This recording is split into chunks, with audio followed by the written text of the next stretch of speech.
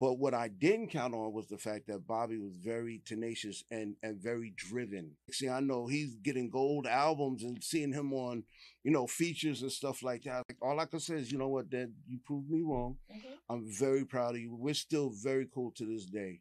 Yeah. Um, um, you know, but that is one artist that I definitely and somebody that I had in my hands that I definitely slept on.